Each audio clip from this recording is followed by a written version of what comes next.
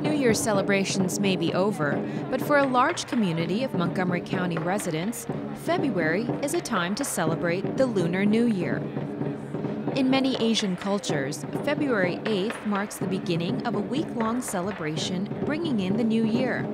2016 is the year of the monkey. According to the uh, Chinese, uh, you know, uh, zodiac, uh, the person born in as a monkey, uh, witty, intel- intelligence, uh, very capable achiever, but also they are a very good team player.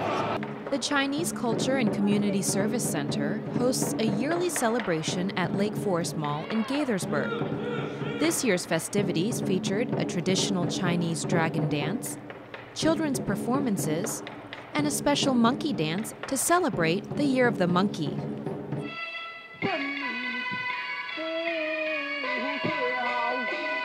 The County Council recently passed a proclamation recognizing Asian Lunar New Year. This is a great honor to be here to visit this uh, proclamation. And uh, I'm a Montgomery County resident for the last 40 years. I have business here for many, many years. Asians make up nearly 14% of the county's population. Events like the one held at Lake Forest help spotlight Asian culture in a county that's proud to have one of the most diverse populations in the country.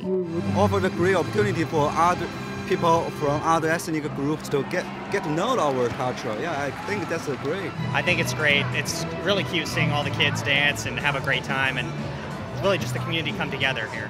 For County Report this week, I'm Crystal Park in Gaithersburg.